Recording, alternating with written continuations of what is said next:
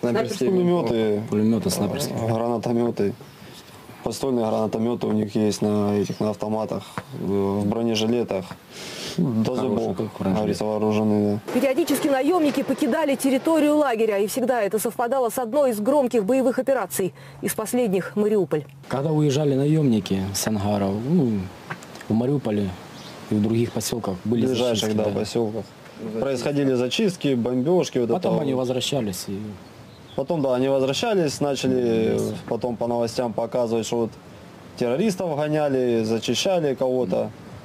Ну и всякое такое. по Мариуполю сказали, что убили в 20 че- тело- террористов, остальные покидали оружие. А про то, что убили 120 человек мирных, это минимум. 13 как раз они бомбили Мариуполь.